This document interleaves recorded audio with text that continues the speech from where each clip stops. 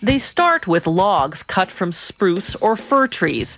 Turning them into construction wood isn't that complicated. First, they soak the logs for about 20 minutes. This removes the mud and softens the bark to make it easier to remove.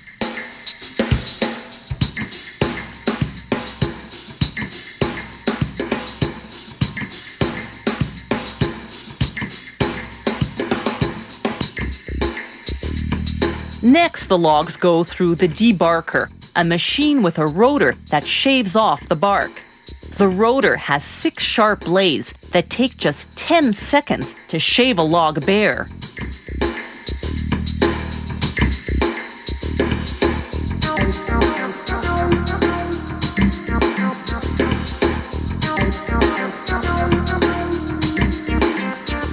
In the filing room, they regularly sharpen and inspect the saw blades they'll use to cut the shaved logs, straightening them back into shape when necessary.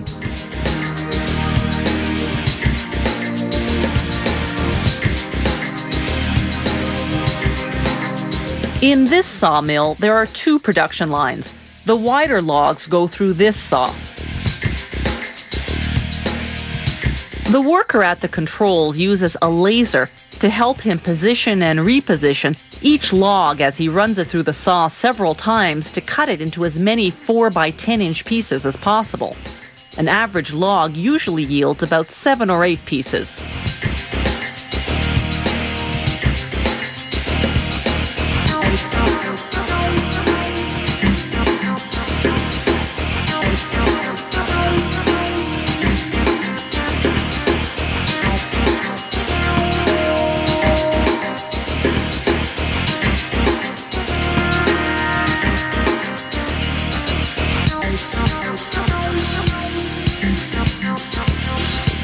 The narrower logs go through a different saw. This saw first cuts a board off each side, then sends what's left of the log onto another saw.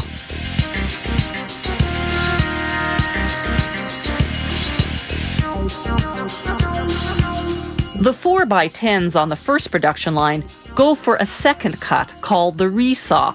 They're cut in half into 2x10s. The logs on the second production line end up here in what's called the Canterbull machine.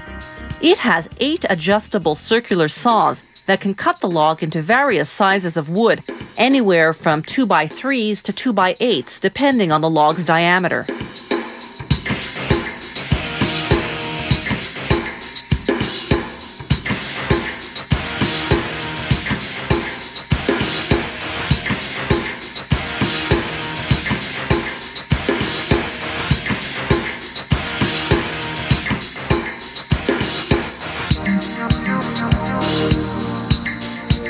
Both production lines feed to machines that smooth the edges and trim off any defects that can affect the strength or resistance of the wood.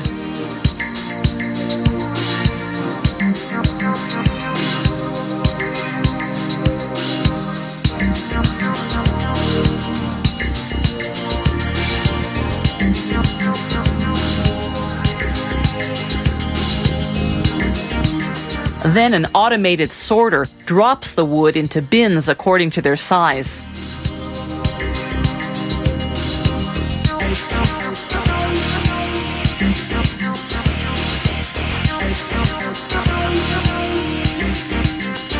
Each bin then feeds the stacking machine.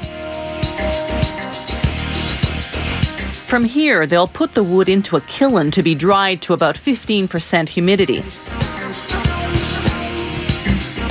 Then they'll grade the pieces and ship them to a lumber yard or renovation store.